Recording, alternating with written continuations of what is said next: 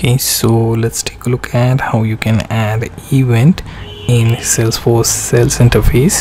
So what i will do is log into developer edition of salesforce then click on app launcher.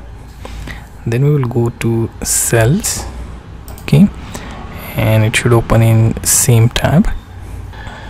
Okay so what you have to do is when you log into sales interface you will find calendar tab. Click on that and here as you can see I don't have any specific event so I will add one.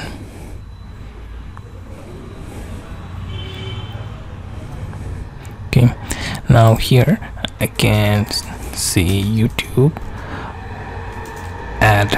Okay this is the ad that I wish to run on particular day. So I will start from let's see Saturday 15 to Sunday 16 okay and it's related to which account? So we will mention that.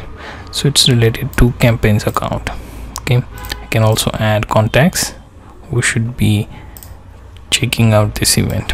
Okay similarly uh, I can also include location here and then description. Here let's say run YouTube ad okay today event.